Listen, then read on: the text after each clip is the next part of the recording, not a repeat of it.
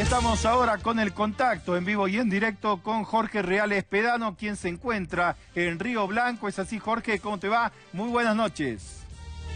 Hola Omar, buenas noches. Y efectivamente estamos acá en la capilla del santuario de Río Blanco, que en estos momentos va a tener un anuncio importante, sobre todo para el próximo domingo, porque se van a encontrar los tres obispos para oficiar una misa, que va a ser la misa central de las, de las 11 de la mañana. Por eso le agradecemos al padre Héctor Barrera para que nos cuente si esto va a ser efectivamente así. ¿Los tres obispos van a estar oficiando una misa?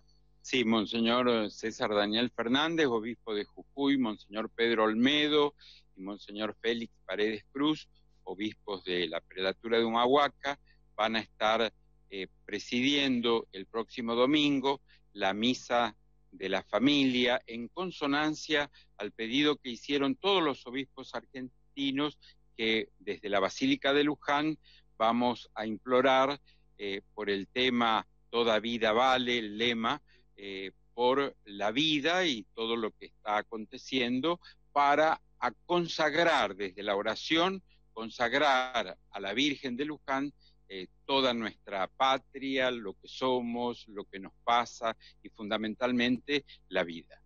Esto va a comenzar a las 11 de la mañana. Eh, ¿Va a ser a dónde? ¿En el templete o en la capilla? No, dentro del templo del santuario, donde habitualmente hacemos todas las celebraciones, eh, pero invitando a toda la comunidad, a todas las personas que quieran venir.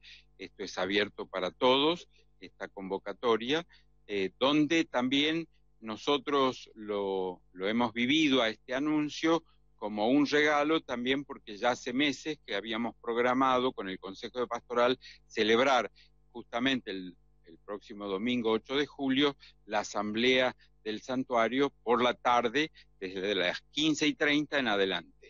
Entonces, por la mañana va a ser eh, la misa por la vida y después la asamblea que ustedes tienen anualmente acá en el santuario.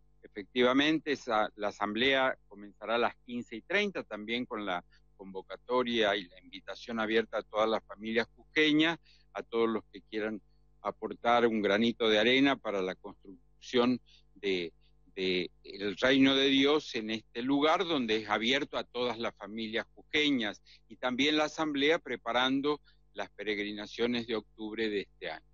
Bien, padre, entonces la invitación está abierta para todos y este es un mensaje claro que también va a dejar la iglesia, ¿no? De poder hacer más hincapié en lo que significa la vida, sobre todo. Nuestros pastores nos pidieron que como iglesia oremos, adoremos. Este es un santuario que tiene adoración perpetua al Santísimo Sacramento y por eso todos los días es la invitación a orar frente a Jesús y con la Madre que siempre nos lleva a Jesús para que valoremos las dos vidas, no solo una, sino las dos vidas y por eso toda vida vale y vale la pena convocar como iglesia jujeña en este lugar donde María eh, nos convoca para amar la vida, defender la vida desde la concepción hasta la muerte natural.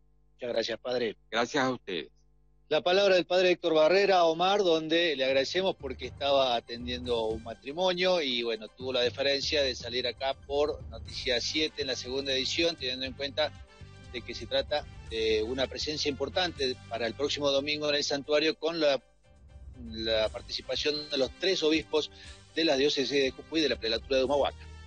Bien, Jorge, muchísimas gracias por toda esa información y queda abierta la invitación para todos los fieles a la mañana a la misa y a la tarde a la asamblea. Así es, Omar, hasta luego. Bien, buen fin de semana, Jorge, y seguimos ahora con más información.